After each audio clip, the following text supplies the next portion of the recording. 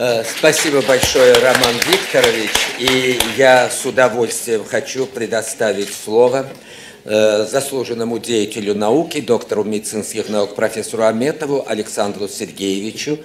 Положительные метаболические антиоксидантные свойства заместительной терапии тестостероном при сочетании сахарного диабета второго типа и гипогонадизма. Пожалуйста, Александр Сергеевич. Глубоко уважаемый президиум, глубоко уважаемые коллеги, как всегда, слова благодарности за приглашение.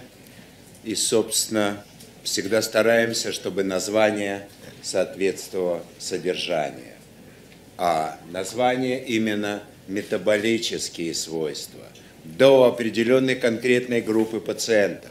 Масштабы проблемы вы за время Конгресса и до того, и после как бы ориентируемся количество пациентов с сахарным диабетом второго типа, ориентируемся в том, что большинство из них имеет избыточную массу тела ожирения, и, собственно, посмотрите, как выглядят данные по дефициту тестостерона, повышает риск развития диабета и метаболического синдрома.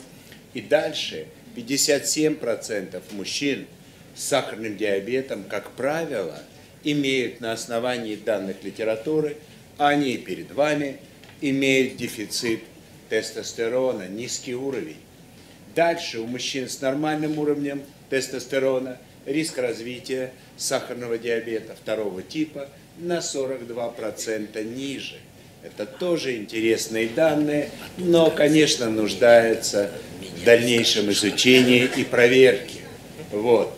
Но как так или иначе, в связи с этими результатами появились рекомендации Всемирного эндокринологического общества о необходимости скрининга уровня тестостерона у всех мужчин, у всех мужчин, которые болеют сахарным диабетом. Дальше. Частота встречаемости андрогенового дефицита у больных сахарным диабетом. Вы видите эту динамику в зависимости от возраста. Одна перед вами. И у каждого третьего 33% с сахарным диабетом так или иначе выявляется андрогенодефицит.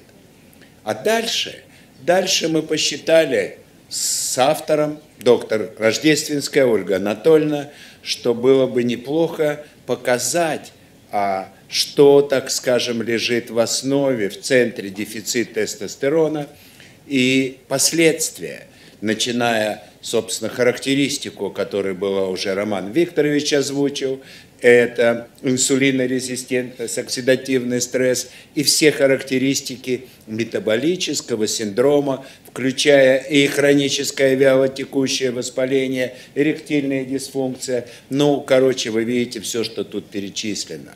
И дальше мы видим с вами как бы стрелки в обе стороны, потому что одно состояние усиливает и ухудшает другое.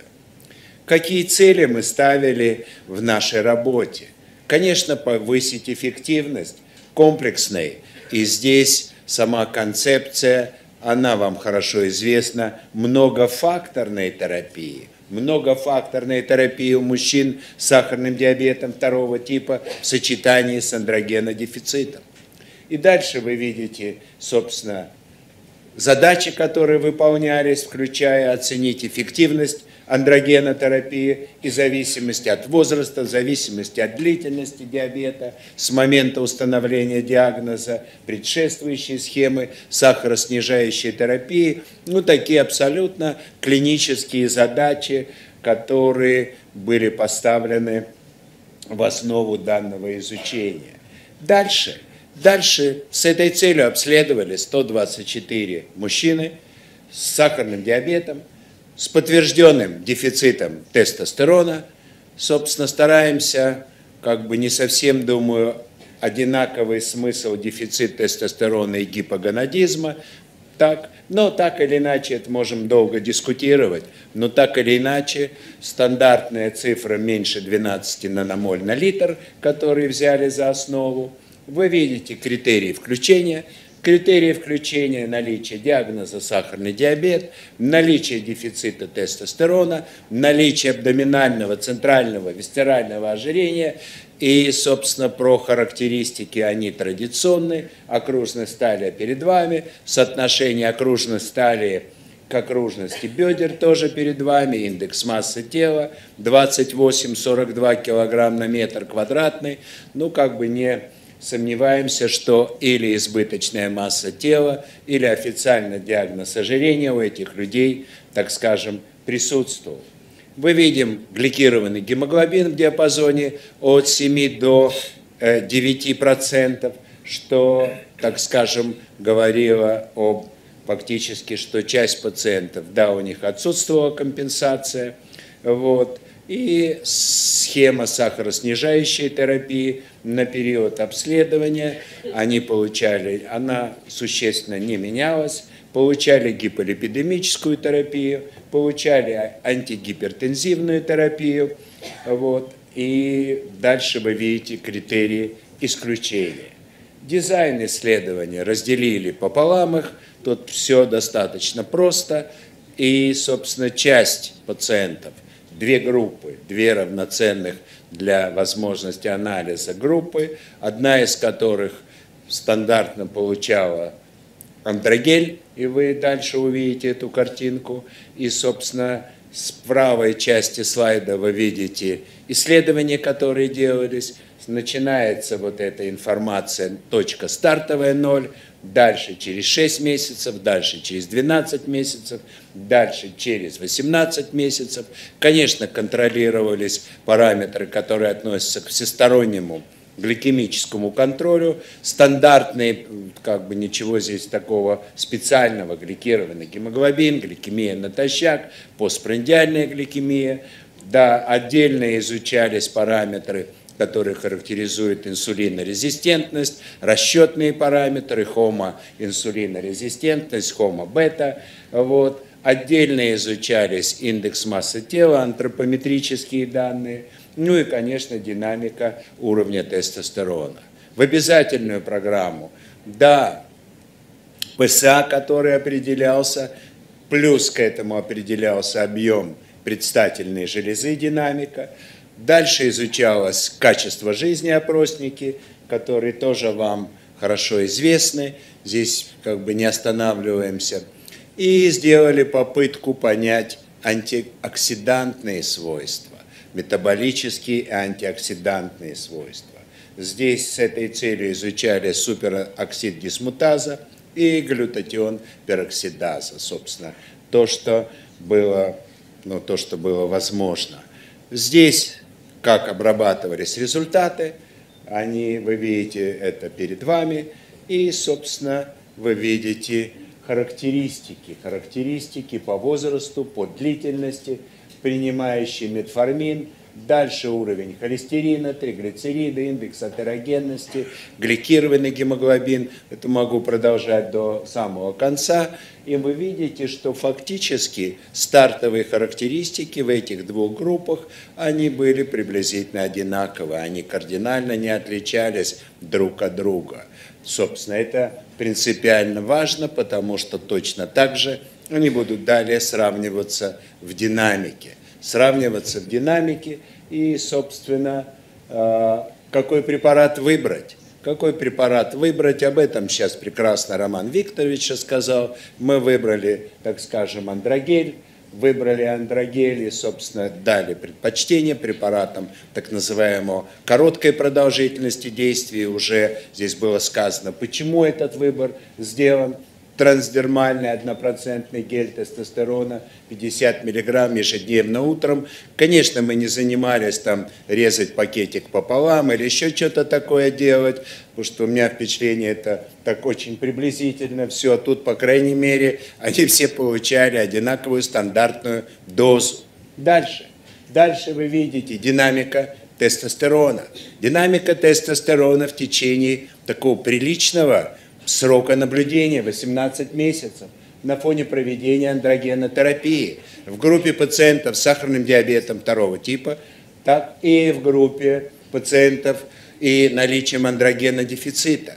Вот эта группа. Слева на слайде у вас, мы видим буквально старт, 6 месяцев, 12 месяцев и 18 месяцев уровень тестостерона, и мы видим достаточно такие одинаковые, тоже стабильные результаты, но они существенно никак и не могли меняться, потому что они не получали андрогеля, они продолжали получать терапию, которая назначена исходно, и, собственно, временные параметры и обозначения перед вами. Дальше мы видим с вами в течение 12, 18 месяцев уровень общего тестостерона, в основной контрольной группы, так скажем, прирост, и межгрупповое отличие тоже перед вами. Дальше мы видим с вами динамика 18 месяцев супероксид дисмутаза и глютатион пероксидаза в зависимости от исходных показателей. Посмотрите, динамика сот по группам. В первой группе, которая получала андрогель, и тут, собственно, не нужно быть суперспециалистом медицинской статистики, чтобы видеть, как меняется этот параметр, и, наоборот, отсутствие какой-то динамики в группе, которая не получала андрогель, и аналогичные данные в группе глютатион пероксидаза. Мы видим с вами абсолютно достоверное отличие между этими параметрами. Дальше посмотрели корреляцию между уровнем общего тестостерона и, так скажем, уровнями антиоксидантных маркеров, которые были доступны нам в исследовании в основной группе, которая получала андрогенотерапию, и в группе, которая группе сравнения. И, собственно, вы видите эти результаты. И дальше был рассчитан такой коэффициент, коэффициент динамики окислительного стресса, Собственно, он не претендует на какую-то супероригинальность, но мы подумали, что неплохо было бы объединить вот эти характеристики. Коль скоро говорим про многофакторное управление, что было бы неплохо объединить, попытаться объединить так, э, динамика гликированного гемоглобина, динамика триглицеридов общего холестерина – динамика оксид, активности супероксид э, дисмутазы, динамика активности глютатион пероксидазы, трактовка. Трактовка, так скажем, привязана к результату единицы соотношения, отсутствие, так, больше или меньше отрицательная динамика, меньше единицы. Смотрите, как это выглядело у больных диабетом, сахарным диабетом второго типа и андрогенным дефицитом на фоне андрогенотерапии. Так, посмотрите, вот эта динамика устранения оксидативного стресса. И фактически те, кто не получали лечение андрогелем, мы видим, в общем-то, как бы отсутствие какой-то динамики, каких-то изменений. Насколько и как это что характеризует, наверное, надо еще долго думать об этом, но так или иначе разница, она такая очень убедительная. Динамика тестостерона – и этого индекса антиоксидантного до и после проведения андрогенотерапии в период в интервале 18 месяцев. Вы видите основную группу и, собственно, контрольную. Разница между ними статистически достоверна, динамика тестостерона, динамика гликированного гемоглобина, обратите внимание, основная группа и контрольная, то же самое – Дальше индекс динамики гликированный, индекс хомо-бета, который говорит о, ну, косвенно в отношении функции бета-клеток, индекс хомо-инсулинорезистентность. Инсулинорезистентность, конечно, нас интересовала в первую очередь. И посмотрите, гликированный раз в основной группе. Дальше динамика хомо-бета существенно не изменилась. Два и, собственно, динамика инсулинорезистентности, да, некоторое, э, так скажем, увеличение или усиление чувствительности или уменьшение инсулинорезистентности было отмечено на фоне терапии тестостерона. Межгрупповые отличия по индексу массы тела на фоне проведения андрогенотерапии в основной группе и в группе, которая не получала – лечения андрогелем, индекс динамики оксидативного стресса в зависимости от, так скажем, уменьшения параметра снижения окружной стали на фоне проведения андрогенотерапии и, наоборот, в условиях отсутствия вы видите основная группа, получавшая андрогель, и группа контрольная. И, собственно, тут очевидно отличие между ними – Так, хотя на старте, если вы помните, они фактически ни по одному параметру не отличались друг от друга. Динамика оксидативного стресса в зависимости от холестерина, липопротеидов высокой плотности, индекса атерогенности на фоне андрогенотерапии или ее отсутствия. И фактически в этих трех параметрах мы тоже получили абсолютно достоверное отличие. Вот такая вот удивительная история. Межгрупповое отличие бальной системы, опросники МИЭФ-5, АМС у пациентов диабетом второго типа, дефицитом тестостерона на фоне терапии андрогенами и в динамике 6 месяцев, 18 месяцев, 12-18 месяцев, расчет баллов. И, собственно, вы видите то же самое – что, так скажем, параметры, которые характеризуют, ну, так общем могли бы сказать, качество жизни, они тоже показали положительную динамику. Динамика баллов по опроснику и в сочетании с антиоксидантной активностью, и мы видим тоже достоверные отличия между ними. Выводы фактически мелким почерком перед вами – и все то, что показал, можно это сфотографировать, чтобы не терять время, но могли бы сказать, что абсолютно, так скажем, положительная динамика, которую мы установили в рамках изучаемых таких традиционных параметров. Мы не старались что-то такое экзотическое изучать. Смотрите, это традиционные параметры, которые мы с вами учитываем в клинике и окружность талии, и, собственно, масса тела, и, собственно, показатели липидов, динамика гликированной. Ну, короче, все то, что используется в реальной клинической практике. Добавили, да, нам как бы показалось это интересно изучить антиоксидантные возможности. И, в общем-то, ничего такого вроде как нового, но подтвердили известные данные о положительных, не случайно в названии появилось слово положительные метаболические свойства тестостерона. И речь идет не только о ликвидации дефицита, андрогена дефицита, а речь идет еще о чем-то, что нам всем предстоит оценить, изучить и понять механизмы, как это все работает, какие тут взаимосвязи. Не все здесь так просто и не все укладывается, ну, то, к чему мы привыкли. Но так или иначе, на мой взгляд, это определенное движение вперед. Вперед, которое, думаю, будет достаточно перспективным на будущее.